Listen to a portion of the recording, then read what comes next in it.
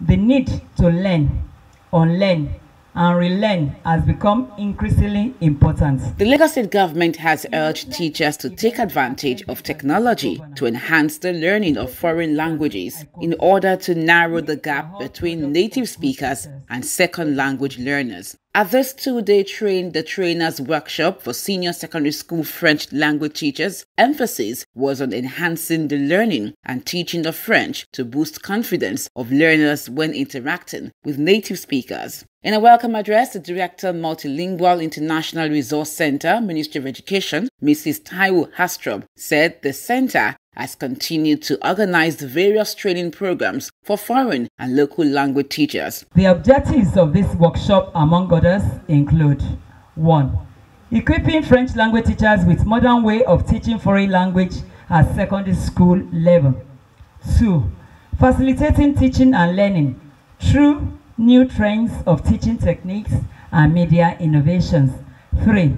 Effective delivery of teaching and learning using 21st century modern learning skills. Represented at the event by the Permanent Secretary, Ministry of Education, Mrs. Abosede Adelaja, the Commissioner for Education, Mrs. Folashade Adefisayo, identified foreign language learning as key to exposing students to global happenings and knowledge. You know, the beauty of Lagos State is that in our schools, we teach languages French, Chinese, Yoruba, English, and even in few schools which we are going to expand, German. We want to prepare our students for the 21st century demands so that wherever they find themselves, they will be equipped and they will be suitable. Some French teachers commend the organizers of the workshop and promise to use the knowledge acquired for the benefits of their students. It is very, very important that every year or two years or three years maximum that you participate in a workshop.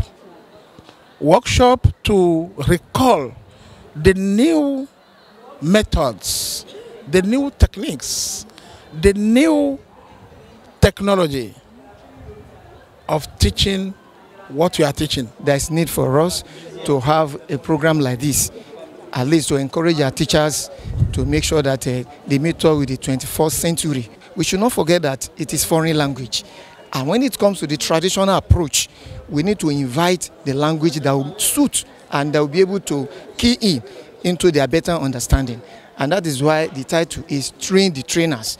Not just to teach the French language, but you should be able to bring the traditional approach into it. Merci beaucoup euh, le gouvernement de, de Lagos, merci beaucoup le, la directrice de multilingue, Merci beaucoup tout le monde et merci beaucoup l'exécutif de la langue française. I'm very happy to be one of the participants in this train the trainers because it will help me to develop more skills in teaching French language. French language is important because we are all surrounded by uh, neighboring countries that speak French language. It's going to be an opportunity again for all French teachers to discover new ways of teaching, particularly in this uh, era that we are in. And I believe that uh, it's also going to be an opportunity for us to take something home for our children, I mean the students in school, uh, to be able to